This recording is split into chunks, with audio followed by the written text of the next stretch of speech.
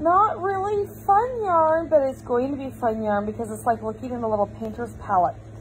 I have to figure out what I want to dye these yarns because we have our party coming up March 14th. We have our Steel Magnolia's birthday party and these all need to be dyed by then. So I have some stripy long wool, is actually really soft.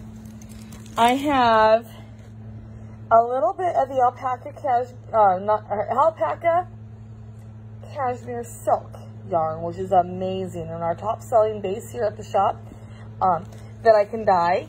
And then I have a new base for us, which is a 100% superwash merino, which is super squishy and has a lot of bounce to it. Um, and then at home, I have some merino yak nylon. So what do you guys want to see dyed? I have about 100 skeins to do. Comment and tell me your favorite.